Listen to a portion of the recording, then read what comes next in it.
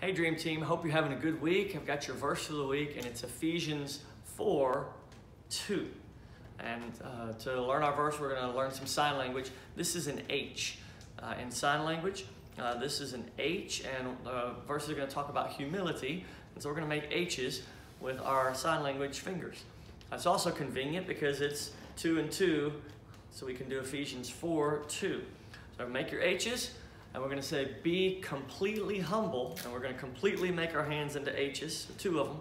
Be completely humble and gentle. We're going to make our H's rock our baby. So be completely humble and gentle.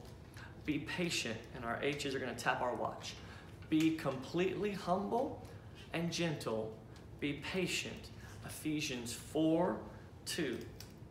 There you go. Hope you have a good week.